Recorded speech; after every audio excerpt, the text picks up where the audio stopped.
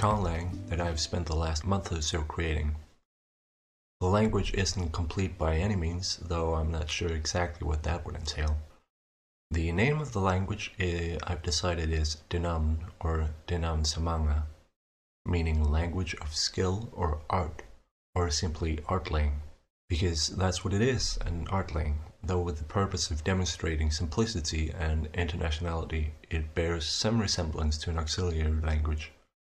Simplicity was the foremost priority, and the simplest place to start is with simple phonology and phonotactics. In my philosophy, simplicity also facilitates disambiguation and communication, and as such, I wanted to bake that simplicity into the orthography along with its internationality. This is why I designed the phonology and orthography concurrently. I also find that elegance can invite simplicity and vice versa, so I started with the simplest shape I could think of a circle. I considered what a circle consists of four curves, or rather a single curve in four different orientations. With four different orientations of a curve and a whole circle, we already have five fairly distinct symbols. Counter to my philosophy of simplicity, the phonological designation of each symbol will always be essentially arbitrary. For the orthography, I took a lot of inspiration from Korean Hangul, but the reduction of shapes is not conducive to obvious or self-evident sound symbols. Instead, I decided to simplify it further, reduce the five shapes to three, and apply simple and consistent rules to manipulate those shapes. So here we are, a curve pointing down, a curve pointing up, and a circle. Simple. These are the nasal stops and will be the basis of the remaining symbols. Three nasal stops? Yes. Ma, na, and nga. Two points to make here. The nga sound is included so as to facilitate the distinction between that sound in words like hanger and hunger that is, whether it is followed by a stop consonant or not. Notice that the glyphs are already arranged in a pattern. Each column represents a category of manner of articulation, and each row represents a place of articulation. This is the trend that the other glyphs build on. After the nasal stops, we have the voiced stops, labial ba, coronal da, and laryngeal-dorsal ga. We represent these by simply mirroring the starting symbol, similar but different. But how do we flip a circle? Admittedly, you can't, so instead I decided to give it a little tail, or a half column, representing, I suppose, a kind of support for the ng sound. Then the voiceless stops, labial pa, coronal ta, and laryngeal dorsal ka. These are again similar but different to the last column. They seem like they're essentially just harder versions of the same sound. Similar, but more intense. We represent this by stacking each symbol atop itself, doubling it. Here the voiceless laryngeal dorsal, that is, k, loses its tail again. Lastly, we have the fricatives and approximants. That means labial wa, or rather wa, coronal sa, and la, that's two sounds, take note. And laryngeal dorsal ha. Here we bring in that column again, but this time it's a full column, first on the left of the symbol, and if we need another symbol, on the right.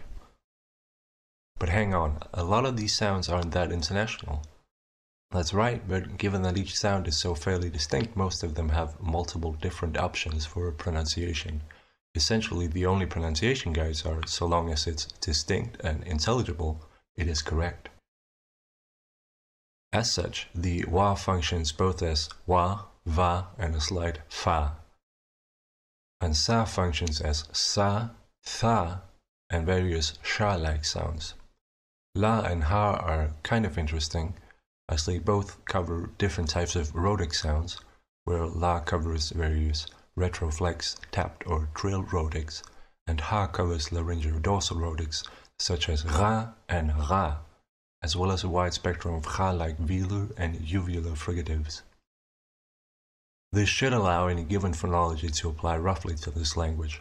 If you speak, say, Japanese, you needn't distinguish between la and a tapped or trilled ra sound. And if you can't roll your ras, simply pronounce it as a la instead. Likewise, if you're Spanish, you might have a hard time with ha sounds, so simply substitute a ha sound like that of a Spanish J. In all secrecy, there are three more symbols, but their only function is in proper nouns and names, which are translated or transliterated phonetically, necessitating a finer distinction between sa and za, between ha and ra, and between va and fa. And there we go. From a simple shape to 13 or 16 fairly distinct consonants. If this were an abjad, that'd be all we needed and while it was designed to be able to function as such, it's not its main purpose. As such, we need some sonorous sounds to put in between the consonants. And I do mean literally between the consonants. Other than Hangul, a major inspiration for the orthography was Sanskrit, because of its beauty and style, and the idea of a pseudo-abugida, or a kind of abjad, like Arabic or Hebrew but with mandatory diacritical vowel marks. Through those, along with Tolkien's Elvish Tengwar, I ended up deciding that vowels should function as a kind of diacritic, marked above or below, besides or sometimes inside consonants. As such, we can use the simple placement or position of the vowel symbols to convey information, specifically about syllabic stress or emphasis. For simplicity, consonant-vowel pairs or vowel-consonant pairs are read in the direction of reading. Unless otherwise specified, that means from left to right and from top to bottom. That means that a vowel symbol above a consonant precedes it. I call this a proximal position because it is closer to the reader in a sense. Am. This is also one of the two emphatic positions.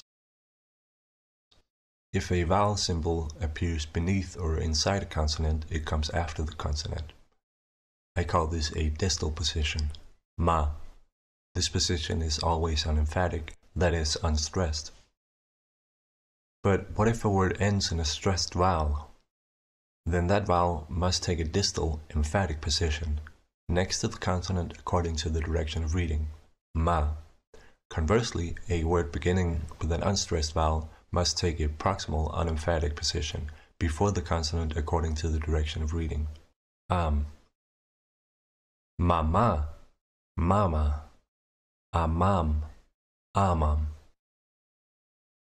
Note that while I use a very classically European method of syllabic stress for emphasis, any sort of emphasis is valid, such as tonal distinctions. The key is the distinction itself and the intelligibility of that distinction. Now that you understand the concept of vowel positions, let's take a look at the vowels themselves. They are O, A, and E. This little dot represents O. This little smile is A, and the long stroke is E. There's also this little short stroke, which is the schwa mark, that only sort of counts as a vowel, and it's really just there for clarity. It also can't be emphasized, and it doesn't appear in diphthongs. Right, diphthongs. We have three vowels, not counting schwa, and all combinations are allowed. Forming a diphthong is quite simple. You simply arrange the vowels according to the direction of reading. That is, unless otherwise specified, left to right, top to bottom. So we have O, A, and E. Two O's become U or Wo. O and A become Wa O and A become Oi. R and O become Ao. Two R's become A or R. And R and E become I.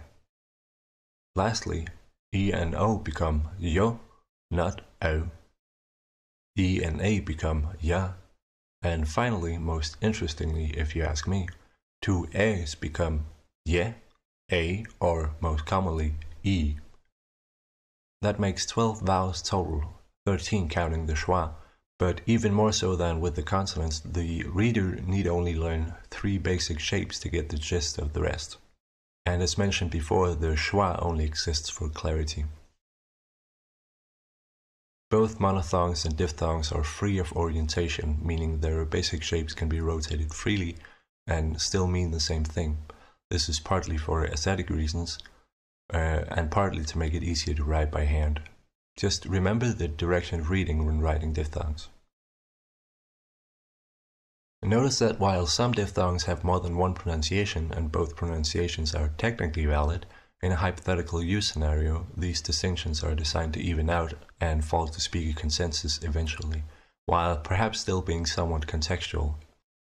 In the compendium, I justify the various pronunciation suggestions based on a syllable's placement within a word, and with that, let's get into phonotactics. The most important phonotactic rule is this. If you're having trouble with a consonant cluster, insert a schwa. This is called the auxiliary schwa. It is always unstressed and it allows any given written consonant cluster to be pronounced as a pseudo syllable. With this in mind, it becomes clear that the schwa mark, the short stroke we talked about earlier, isn't always entirely necessary. Only some lexemes actually contain a distinguishing schwa, and as such they are marked differently in romanization. That said, if you can pronounce a given consonant cluster with ease, you're very welcome to. Certain clusters naturally invite pronunciations that aren't usually found in Germanic or Romantic languages, which I like to think emphasizes the intended internationality. Kla, kla, kla. Mba, nda, nga. Ta, sra, dra. Ultimately, in a hypothetical use scenario, these pronunciation differences would likely level out and reach some consensus. Instead, let's look at some consonant vowel pairs. Most consonant vowel pairs should be fairly obvious. You take your consonant, mm, and your vowel, ah, and put them together, ma. Of course, not every sound is created equal. Let's look at the voiced and unvoiced stops along with the diphthongs that start with e. Pia, pia, via, or fia. Ja, cha, nya. Nya, gya, kya. Sha, ja, jra. Again, the only real rule is to keep it distinct and intelligible, and preferably consistent. I mentioned some of my inspirations earlier, Hangul, Sanskrit, Abjads, but up until now I've only presented the simple glyph characters. Let's change that. Much better. Notice the very Sanskrit-inspired horizontal line at the top of each consonant. While this was initially an aesthetic choice, I discovered that it greatly increased differentiation between which vowels are above and which are not above a consonant. It also reduces the area needed to write, in that spaces between words can be indicated by a break in the line rather than a full space. Now that the orthography is a bit nicer to look at, let's do some grammar. Much like the orthography, the grammar was subject to several iterations. I wandered back and forth between very strict and wide inflections for both verbs and nouns, and even adjectives, and simpler particle indication systems more akin to many Creole languages. In the end, I did decide on a limited set of cases and liberal use of simple particles. Let's take a look at them starting with pronouns. There are six different kinds of pronouns. The most interesting are the first person plural pronouns and the different third person pronouns. Firstly, first person plural, that is, we, us, has two different kinds depending on context. They are both formed by adding the plural indicator particle, we, before a first person pronoun. The distinction comes down to clusivity, that is, who in context are we. We-o refers to the speaker and the speaker's associates or friends, but not the listener. We ni, or simply we, refers to the speaker and the listener. Notice that the substitution of we is not taken from Germanic languages, rather it is a considered contraction of the plural particle we and the pronoun e. As such, we ni could be considered an emphatic version of the same pronoun. If one is ever confused about which form to use, exclusive or inclusive, I find that it's probably good manners to use the inclusive form. Then, of course, there are the second person pronouns, ko and ka, and plural, wiko, wika. The ko ka distinction may suggest gender or some such, but this is not the case. Rather, it is a weak form of vowel harmony. You simply use whichever one is simpler to say in context of what you're saying. If you're moving from or to a syllable with an o, you use ko and similarly with ka for a syllable with an a. In the case of e, e, or ye, well, you do you. These are essentially considered different pronunciations of the same word. Next, the third person general, si, we see, meaning of course he, she, it, and they. The last two are also third person pronouns, but they're a bit more complicated we have wa, we wa, which basically means this, this one, these. That is something near to or held by the speaker. Conversely, we have wo, we wo, meaning that, that one, those, ergo something far away from the speaker or held by the listener, or rather, the one who the speaker is speaking to. Furthermore, wa and wo can be used to specify references to grammatical elements that could, in at least many Indo-European languages, be quite ambiguous. As such, wa can be added to another pronoun or used on its own to refer to the subject of a sentence, whereas wo can be used to refer to the object, direct or indirect. Think of the sentence, it gave it its clothes where its can refer to either the subject it or the object it. In the noun, we would clarify this by saying it gave wo was clothes if it is the subject's clothes. If the clothes already belong to the object, it gave wo was clothes. Those are the pronouns. Notice that they aren't declined for case or number. Everything is done with particles. The plural particle we functions for pronouns as well as nouns. Instead of cars, we would say we car. Given the simplistic grammar, that phrase we car could be interpreted as we are driving a car. So how do we make the distinction? There are a couple of ways. The first most basic way is using a verb indicator particle. There are two verb indicator particles, ki for the active voice and ku for the passive voice. The verb itself is never conjugated. Beyond the verb indicator mark, we can introduce tenses with the particle me. A quick note here, me is the only particle with perfect vowel harmony. It always adopts the basic non-schwa vowel form of the vowel nearest to it in the verb it describes. To understand this, let's talk about how it works. If there is no tense marker, the present tense is assumed. If the tense marker comes after a verb, this indicates the past tense. Likewise, if the particle comes before the verb, it indicates the future tense. This is true for both active and passive voice. So, if the particle comes before a verb, it adopts the verb's first non-schwa vowel, mekistil, counted or has counted. If the particle comes after a verb, it adopts the verb's last non-schwa vowel, qui still may, will count or going to count. Another kind of verb indicator are the imperative particles. Tama indicates active imperative, while tana indicates passive imperative. For all these forms, we assume the indicative mood. That is, we assume that what we're talking about is factual, truthful, matter-of-factly so. To indicate otherwise, we need to use the subjunctive particle ta. The subjunctive mood indicates things like counterfactuality, uncertainty, or desire. A sentence like I might leave or I want to leave would be translated using the subjunctive mood, as would I think he left. Here the English auxiliary verbs might, want, or think are made superfluous. There are two further forms, the gerund, which uses the particle to, and the agent noun particle, which uses the particle ve or well. Gerunds don't work quite as they do in English, taking more inspiration from Greek and Pidgin languages.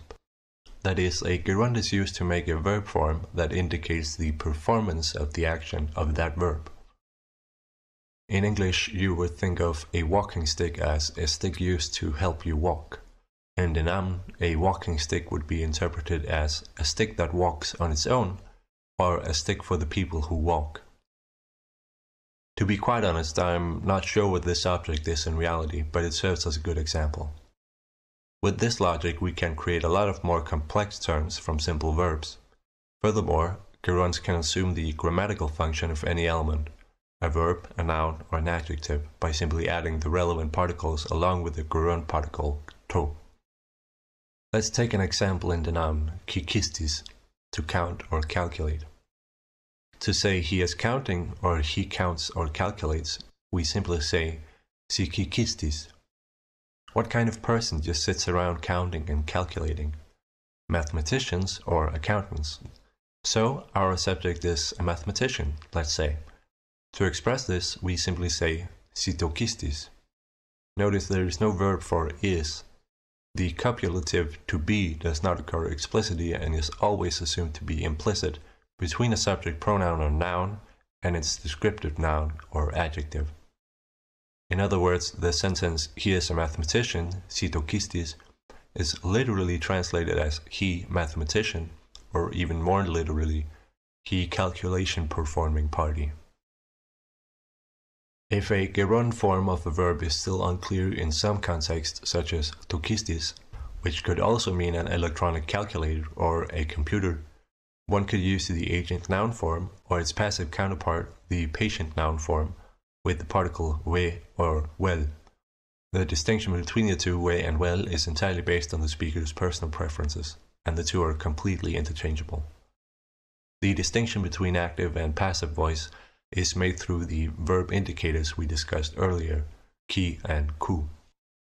Unlike the gerund, the agent noun form always refers to an active performer, which will likely be a person or at least a living being, and as such it is good form to use a relevant pronoun as a pseudo article. So we can form the argument sikikistis well, meaning he is a calculator or rather, he is one who performs calculations, i.e., a mathematician. We can also use the passive voice to our advantage. Si Sikokistis well. It is calculated, meaning a calculation or the result of a calculation.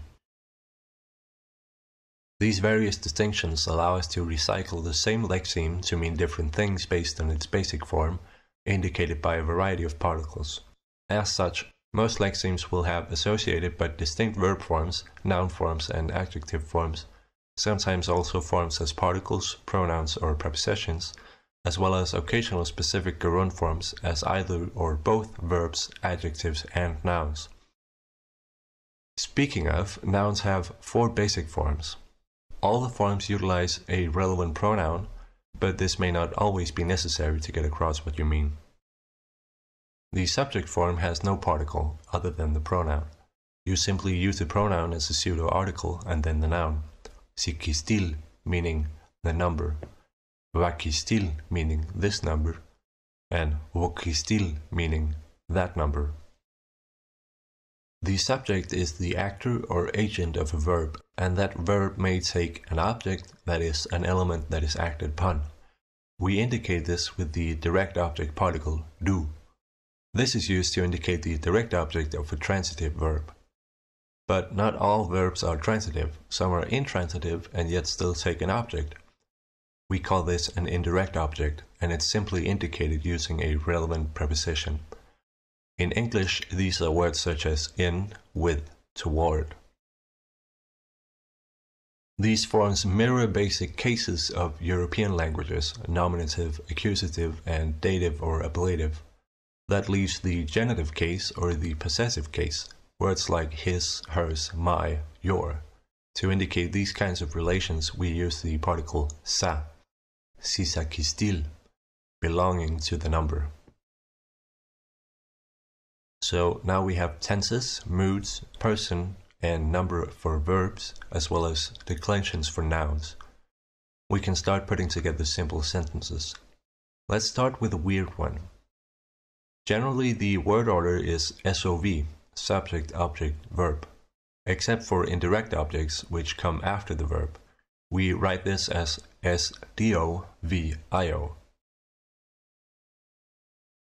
The sentence is Wekistil, bodukistil, kikistil, vesakistil, meaning the number counts the number's number. This is a fairly ambiguous sentence in English. Let's unpack the original sentence. Wekistil, this number, the one over here, which is the subject.